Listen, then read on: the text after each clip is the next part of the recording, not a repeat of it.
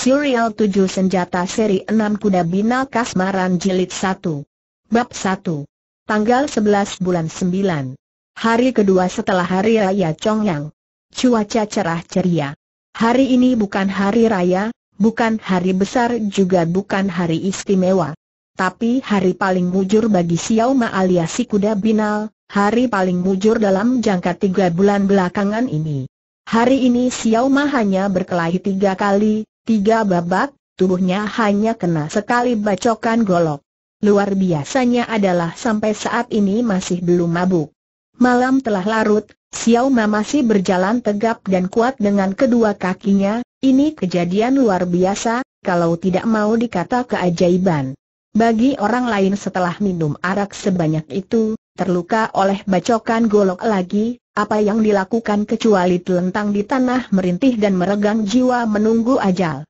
Bagi ukuran Xiao bacokan golok itu tidak dirasa berat, padahal kalau bacokan golok itu ditujukan ke batang pohon sebesar paha, pasti pohon itu roboh terpotong jadi dua. Coba bayangkan betapa parah luka yang diderita Xiao serangan golok itu tidak cepat, namun pemilik golok itu mahir membelah seekor lalat yang sedang terbang di udara, malah bukan hanya seekor lalat yang berhasil dipotongnya.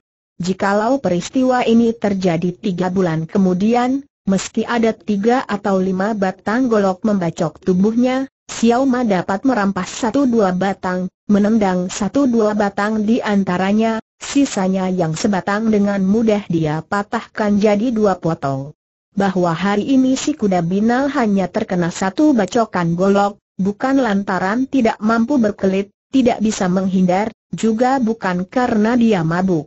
Dia terbacok karena ingin merasakan bacokan golok lawan, ingin menikmati bagaimana rasa dan betapa nikmat bacokan golok pengelohou dari Ngo Hao Utoan Buncu yang terkenal lihai itu.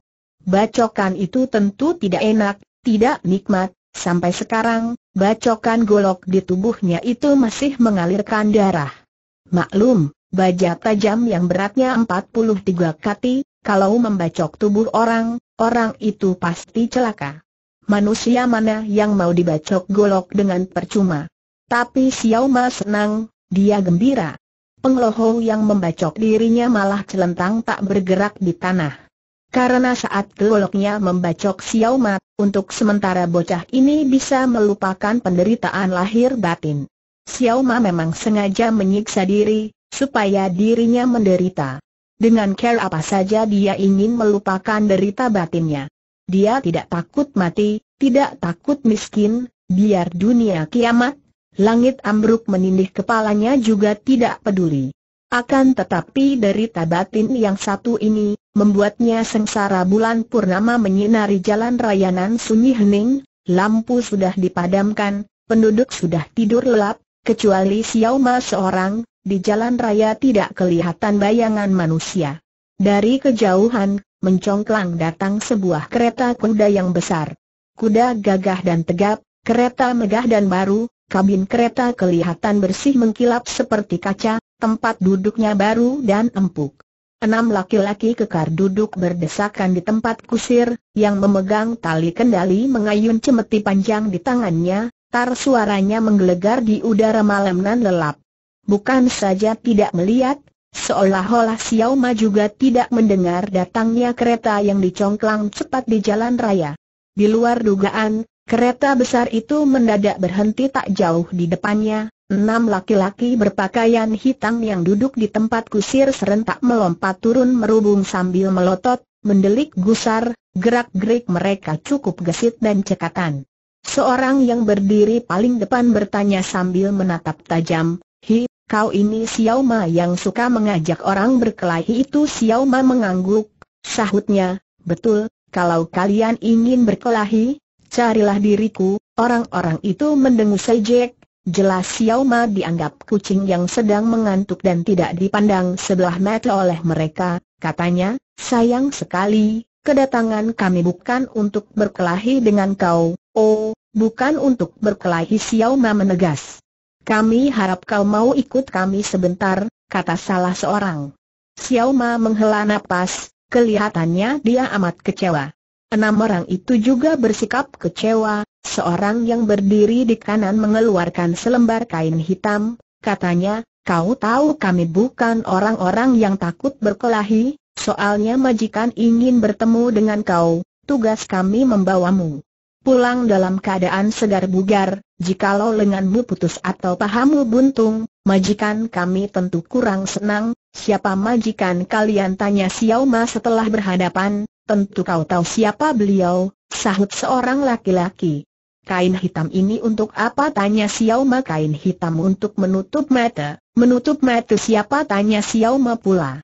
Sudah tentu menutup matamu, supaya aku tidak tahu ke mana kalian membawaku agaknya kau sudah pintar, kalau aku tidak mau ikut orang-orang itu menyeringai bersama, seorang di antaranya membalik tubuh, tinjunya menggenjot sebuah balok batu peranti mengikat kendali kuda di pinggir jalan. Duk balok batu sebesar paha itu dipukulnya patah menjadi dua. Wah, hebat, lihai sekali, teriak Xiao Ma laki-laki itu mengelus tinjunya, katanya congkak, kalau kau tahu betapa lihai tinjuku, maka ikutlah kami pulang, tanganmu tidak sakit tanya Xiao Ma sikapnya amat prihatin, sehingga laki-laki itu lebih bangga. Seorang laki-laki lain, mendadak mendekam, kaki pun menyapu, balok batu yang terpendam hampir dua kaki itu seperti dicabut dan dilempar begitu saja oleh kakinya yang menyapu dengan kuat. Xiao Ma lebih kaget, teriaknya, kakimu tidak sakit laki-laki itu berkata, kalau kau tidak mau ikut kami, kalau kaki tangan tidak patah, tubuhmu akan babak belur bagus sekali, seru Xiao Ma apa maksudnya bagus sekali tanya laki-laki itu. Maksudnya, sekarang aku akan ajak kalian berkelahi, sahut Xiao Ma baru saja mulut bicara, tinjunya lantas menggenjot hancur hidung seorang, sekali tampar pula dia bikin telinga seorang menjadi tuli, begitu sikutnya menyodok, lima tulang rusuk orang di belakangnya patah, Sekali kaki menendang, seorang dibuatnya mencelat ke udara, seorang lagi selangkangannya kena sepak, kontan dia menungging sambil mendekap anunya, air mata, liur dan keringat dingin bertetesan, tubuhnya basah kuyup. Celananya pun basah dan bau pesing. Lima dari enam orang roboh tak berkutik hanya dalam segebrak, tinggal seorang saja yang berdiri di hadapannya, tubuh orang ini pun basah oleh keringat dingin. Xiao Ma memandangnya kalem, katanya, sekarang kalian masih ingin memaksa aku ikut kalian laki-laki yang masih utuh ini segera geleng kepala, geleng sekuatnya dan tidak berhenti kalau Xiao Ma tidak segera bersuara lagi. Bagus sekali, ucap Xiao Ma laki-laki itu tak berani bersuara. Kenapa tidak kau tanya apa maksud bagus sekali aku? Xiao Jin, kau tidak berani bertanya laki-laki itu manggut-manggut, manggut-manggut ketakutan. Xiao Ma menarik muka, mata pun melotot, katanya, tidak berani tanya, kalau tidak tanya ku hajar kau, laki-laki itu mengeraskan kepala, mulutnya tergagap, bibir gemetar, apa maksudnya bagus sekali Xiao Ma tertawa lebar, katanya riang, maksudnya aku mau ikut kalian, segera ia ulur tangan membuka pintu siap naik kereta, namun mendadak ia berpaling, Bawa kemari, laki-laki itu berjingkrak kaget, serunya, apa, bawa apa bawa kain hitam itu kemari, untuk menutup mataku, tersipu laki-laki itu menutup matanya dengan kain hitam. Bukan menutup matamu, menutup mataku, seru Xiao Ma laki-laki itu mengawasinya terbelalak, bingung tidak mengerti, apakah laki-laki ini edan atau sinting, sedang mabuk atau mengigau? Xiao Ma tidak sabar, dia rebut kain hitam itu menutup mata sendiri, lalu melompat ke kabin kereta dan duduk di atas sofa yang empuk sambil menghela napas lega, katanya, menutup mata dengan kain hitam, ternyata lebih nyaman lagi nikmat, Xiao Ma tidak gila, juga tidak mabuk. Kalau seorang memaksa dia melakukan sesuatu yang tak ingin dia lakukan, umpama menusuk bolong delapan lubang di badannya pun akan ditolaknya dengan tegas. Selama hidup, dia senang melakukan apa yang ingin dia lakukan, rela melakukan, tidak mau dipaksa. Kalau dia mau naik kereta mewah ini, karena dia beranggapan, persoalan yang sedang dihadapinya bukan saja misterius, juga menarik hatinya. sekarang umpama ada orang berani melarang dia pergi, tidak boleh naik kereta, orang itu tentu dihajarnya juga. Waktu kereta bergerak, Xiao Ma sudah menggeros dalam kereta yang lebar dan empuk itu, begitu lelap dia tidur seperti babi layaknya. Bila sudah sampai tujuan baru kau bangunkan aku, siapa menggangguku di tengah jalan, kepalanya akan ku gencet dia remuk, tiada orang berani mengganggu tidurnya, maka dikala dia terjaga, kereta sudah berhenti di sebuah pekarangan yang besar. Xiao Ma bukan laki-laki kampungan yang belum pernah melihat keramaian, bukan orang yang tidak luas. Pergaulannya, tapi seingatnya, selama hidup ini, belum pernah dia melihat tempat seindah, megah seperti ini, dia kira dirinya berada di kahyangan. Tapi enam laki-laki itu membuka pintu, lalu berdiri berjajar di depan pintu menyambut dia turun dari kereta.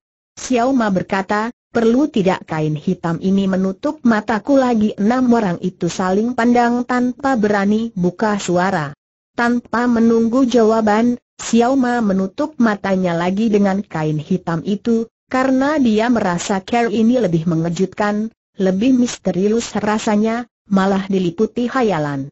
Pernah Xiao Ma mendengar dongeng, di zaman dulu ada sementara putri raja atau pembesar yang romantis, suka menculik pemuda gagah ganteng di tengah malam buta rata di tengah keraton, untuk menghibur dirinya. Xiao Ma tidak terhitung laki-laki tampan, tapi dia masih muda lagi gagah, perkasa dan pemberani, apalagi wajahnya tidak jelek. Seorang mengulur sebatang tongkat ke tangannya lalu diseret ke depan, seperti orang buta saja dia ikut mereka beranjak ke depan.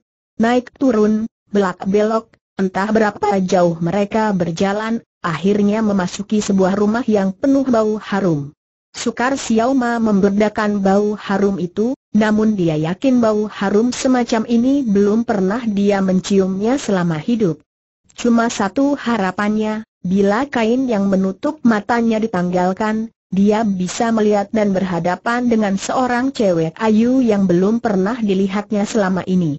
Di saat pikiran melayang hati gembira itulah, mendadak dua jalur angin tajam datang dari depan dan belakang menusuk ke arah dirinya, betapa cepat serangan ini, belum pernah dia menghadapinya sejak kecil Xiao Ma suka berkelahi, kalau sehari tidak berkelahi, badan terasa pegal linu malah.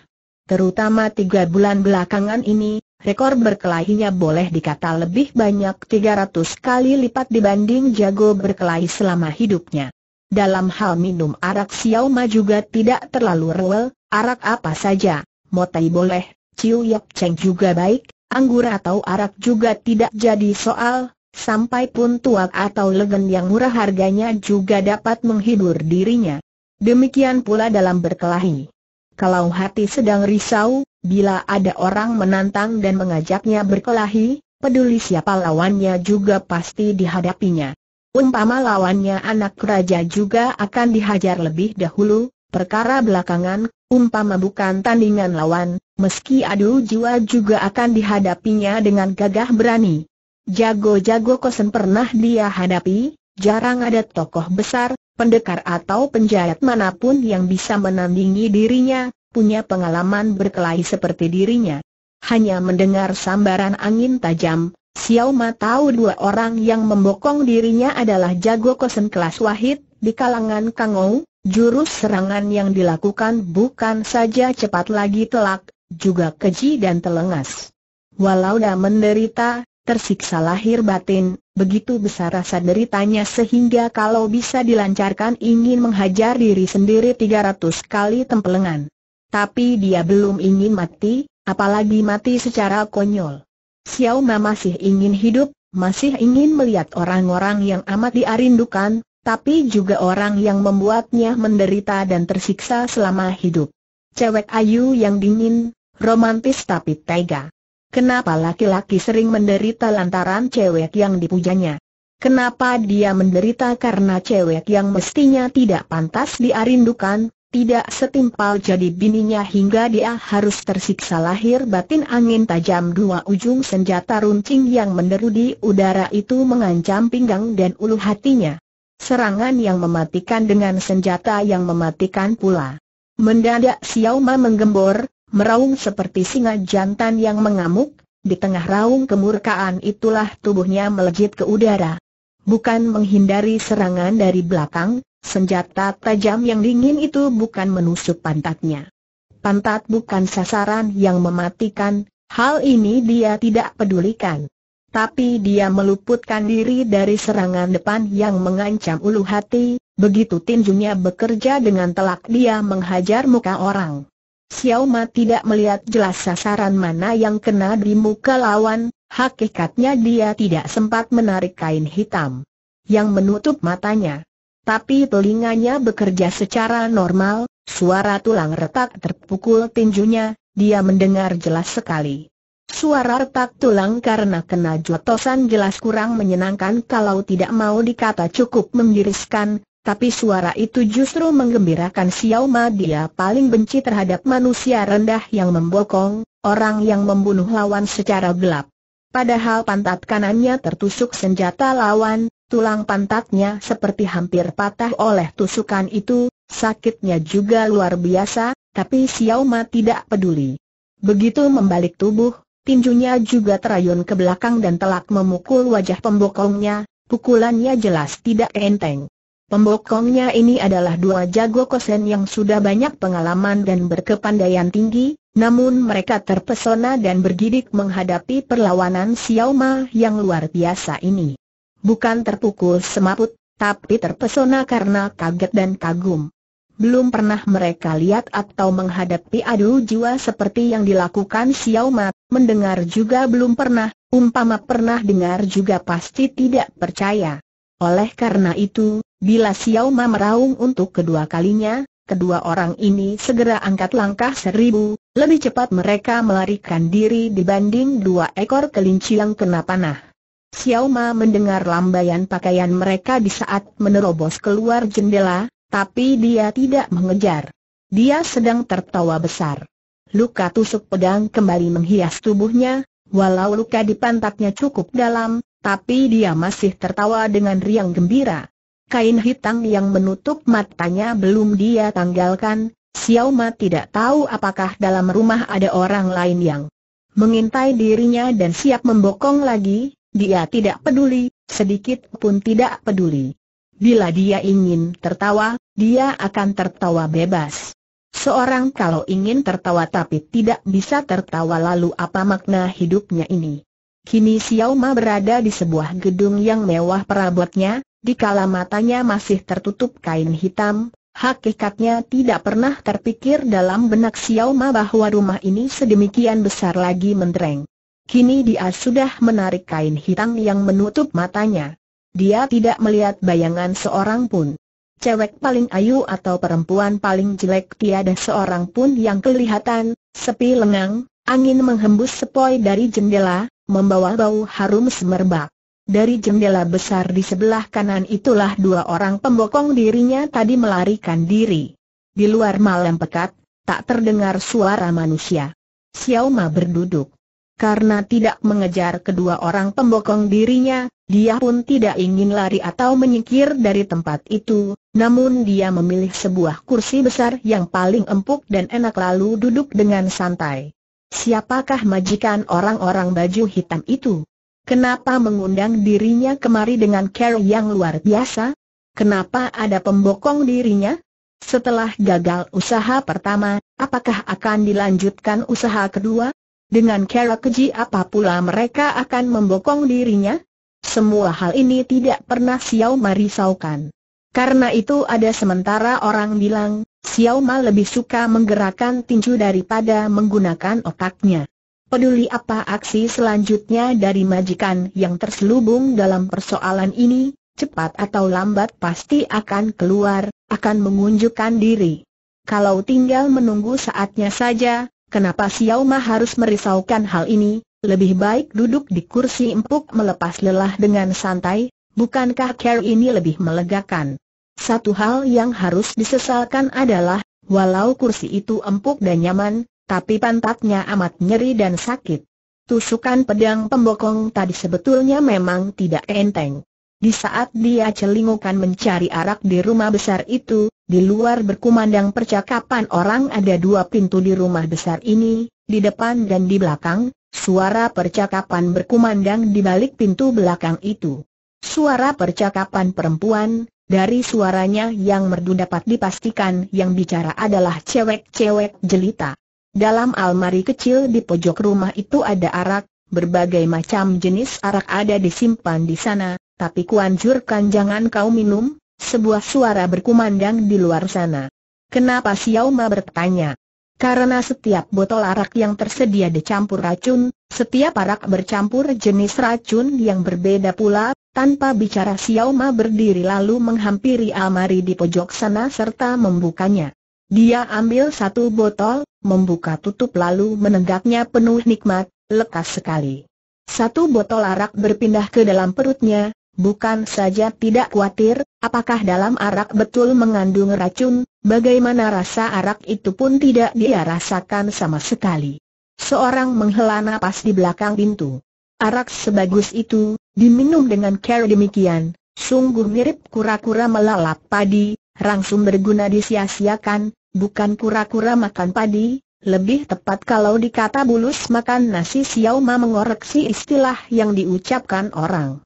Cewek di luar cekikikan, tawanya semerdu kelintingan, ternyata kau bukan kura-kura, kau lebih tepat seekor bulus Xiao Ma juga tertawa, bahwasanya dia sendiri tidak bisa membedakan, di mana perbedaan kura-kura dan bulus. Entah kenapa tiba-tiba dia merasa tertarik pada cewek di luar itu. Setelah bertemu dengan cewek yang menarik, kalau tidak minum arak, tak ubahnya seperti seorang yang bermain catur sendiri. Maka dia mengeluarkan lagi sebotol arak, tapi kali ini dia minum jauh lebih lambat.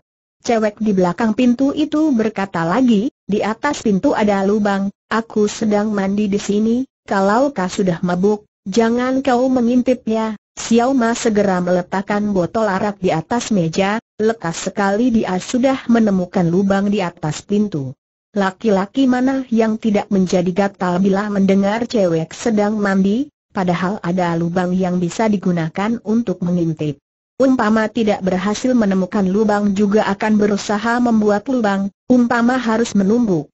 Dinding dengan kepala sampai jebol juga akan dilakukan dengan senang hati. Waktu Xiao Ma mengintip dengan sebelah matanya, hanya sekali pandang, jantungnya hampir saja melonjak keluar. Detak jantungnya mirip kereta api yang memburu waktu. Di ruang belakang itu bukan hanya seorang cewek lagi mandi, tapi ada delapan gadis jelita sedang mandi. Delapan cewek ayu dan muda dengan tubuh montok kenyal sedang berendam di dalam sebuah bak mandi yang besar dengan air yang mengebul hangat, air nan jernih, ke sudut mana pun menyembunyikan diri juga takkan bisa menutupi tubuh yang kelihatan mulus putih lagi menggiurkan. Hanya satu gadis terkecuali. Gadis ini tidak lebih ayu dibanding tujuh cewek yang lain, tapi Xiao Ma justru tertarik pada gadis yang satu ini, meski dia tidak bisa melihat apa-apa, jangan kata paha, lengan pun tidak kelihatan. Gadis ini mandi sambil mengenakan jubah panjang warna hitam, yang kelihatan hanya lehernya yang panjang, putih dan mulus. Kini mata Xiao Ma sedang mengawasi lehernya yang mulus itu. Karena tidak kelihatan, Rasanya jadi lebih misterius, makin misterius makin merangsang, makin merangsang lebih ingin melihatnya, laki-laki mana di dunia ini yang tidak punya perasaan demikian terhadap perempuan. Gadis yang mandi pakai jubah terdengar menghela napas, katanya, kalau kau ingin mengintip, aku memang tak bisa melarang, tapi jangan kau menerobos kemari, pintu itu tidak dikunci juga tidak dipalang, asal kau dorong pasti terbuka. Xiao Ma tidak perlu mendorongnya, sekuat tenaga dia menerjang masuk. Pintu menjeplak terbuka dengan mudah. Biur, Xiao Ma langsung terjun ke dalam bak mandi. Mandi bersama delapan cewek ayu dalam satu bak yang sama, yakin bukan setiap laki-laki bisa melakukan. Cewek-cewek itu tidak menjerit kaget atau menyingkir malu, mereka juga tidak bersikap takut atau marah. Kejadian seperti ini seolah-olah sudah sering kali mereka alami. Namun ada juga yang memprotes, kau laki-laki kotor dan bau begini, kenapa ikut mandi di sini justru karena aku bau dan kotor, maka aku harus mandi. Xiao Ma memang pandai bicara, kalau kalian bisa mandi di sini, selayaknya aku pun boleh mandi di sini. Kalau mau mandi kenapa tidak kau copot pakaianmu? Kalau dia boleh mandi berpakaian, kenapa aku tidak boleh gadis mandi berpakaian? Geleng kepala, katanya setelah menghela napas, melihat keadaanmu memang pantas kau mandi, tapi seharusnya kau mencopot dulu sepatumu, Xiao Ma berkata, kenapa harus sepatu, sepatu dicuci sekalian, bukankah lebih leluasa gadis yang mandi pakai baju mengawasinya, katanya dengan menyengir getir, tugas yang orang lain minta kau kerjakan. Kau justru menolaknya. Kalau kau tidak disuruh melakukan kau justru berbuat tidak keruan, apakah kau orang normal? Siapa bilang aku tidak normal sahut Xiao tertawa lebar.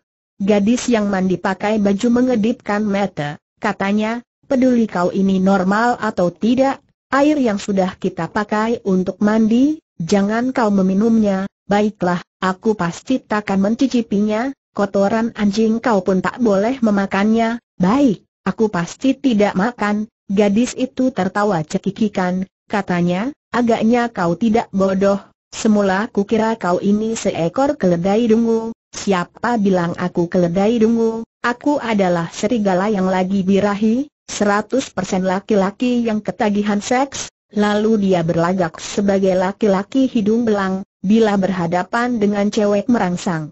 Gadis yang mandi pakai baju seketika mengunjuk sikap takut, lalu bersembunyi di belakang seorang gadis yang semula berada di sampingnya, tanyanya, bagaimana cewek ini menurut pandanganmu bagus sekali, sahut Xiao Ma gadis ini memang ayu lagi montok, serba bagus, senyumannya pun manis merangsang, tubuh semampai dan padat dengan paha yang jenjang mulus. Gadis yang mandi dengan berpakaian menghela napas lega, katanya, dia bernama Hiang Hiang, kalau kau mau, boleh ku suruh dia menemani kau, aku tidak mau, sahut Xiao Ma gadis yang pakai baju berkata pula, tahun ini dia berusia 16, badannya benar-benar harum sesuai namanya, aku tahu, sahut Xiao Ma kau masih tidak mau tidak mau, gadis yang mandi pakai baju tertawa cekikikan, katanya, ternyata kau bukan laki-laki hidung belang, siapa bilang? Aku laki-laki metu keranjang tulen, gadis yang mandi berpakaian mulai tegang, serunya, apa kau ingin memilih yang lain ya? Aku ingin yang lain, siapa yang kau pilih?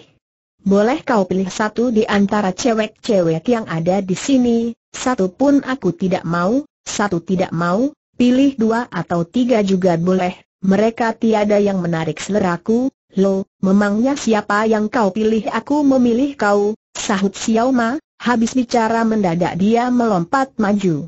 Gadis yang mandi pakai baju melompat mundur sambil mendorong hiang-hiang ke dalam pelukan Xiao Ma, selincah tupai dia melompat keluar dari bak mandi.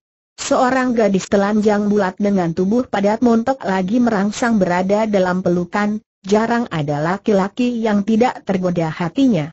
Tapi Xiao Ma tidak ambil perhatian, sedikit pun tidak tergoda hatinya. Dia dorong hiang-hiang ke pinggir lalu melompat naik keluar bak mandi. Gadis yang mandi pakai baju berlari mengitari bak mandi, serunya dengan napas tersengal, mereka adalah nona-nona cilik, aku sudah nenek-nenek, kenapa kau justru mengejar aku Xiao Ma berkata, aku justru tertarik pada nenek seperti dirimu, sudah tentu gadis sayu yang mandi mengenakan pakaian ini bukan nenek-nenek. Usia memang lebih tua sedikit dibanding gadis yang lain, tapi dia memang kelihatan lebih matang, lebih padat dan menggiurkan. Letak daya tariknya mungkin karena dia mengenakan pakaian. Dia lari di depan, Xiao Ma mengejar di belakang, gadis itu lari dengan cepat, Xiao Ma mengejar tanpa gugup. Karena dia tahu gadis ini takkan lolos dari tangannya. Kenyataan gadis itu memang tidak mampu melarikan diri.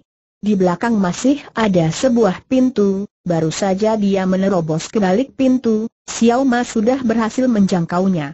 Kebetulan di balik pintu ada sebuah ranjang, ranjang yang besar dan lebar, begitu dia roboh, Xiao Ma kebetulan menindih di atas badannya, mereka bertumpang tindih di atas ranjang.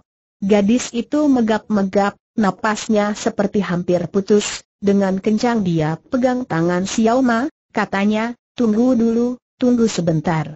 Xiao Ma sengaja menyeringai sambil menunjukkan taring giginya, katanya, masih tunggu apa lagi tangannya yang nakal terus bergerak, sekuat tenaga gadis itu mendorong tubuhnya. Umpama betulkah sudah kepingin, sedikitnya kita bicara dulu secara santai, ngobrol dengan romantis, dalam keadaan seperti ini, aku tidak mau ngobrol, apa kau tidak ingin tahu kenapa aku mencari dan mengundangmu kemari sekarang? Tidak perlu tahu, walau sekuat tenaga dia mendorong, tapi dekapan lengan Xiao Ma betul-betul sekeras tanggem, gadis itu tak kuat melawan. Mendadak tangannya seperti luluh, tubuhnya lunglai, dia tidak mendorong lagi. Waktu mandi dia kelihatan seperti tamu yang hendak keluar pintu, pergi ke tempat yang jauh, mengenakan pakaian yang rapi dan molek, sekarang dia pun seperti sedang mandi. Dengan ujung hidungnya, Xiao Ma menahan ujung hidung sang gadis, matanya menatap tajam, desisnya kalem, kau menyerah tidak gadis itu masih megap-megap, sekuatnya dia menggigit bibir, sahutnya, tidak mau menyerah, kalau menyerah akan kuampuni kau, tapi gadis itu menggeleng kepala, serunya, Aku tidak mau menyerah, kau bisa berbuat apa terhadapku? Dalam keadaan seperti itu, apa yang bisa dilakukan seorang laki-laki terhadap perempuan? Silakan menerkanya,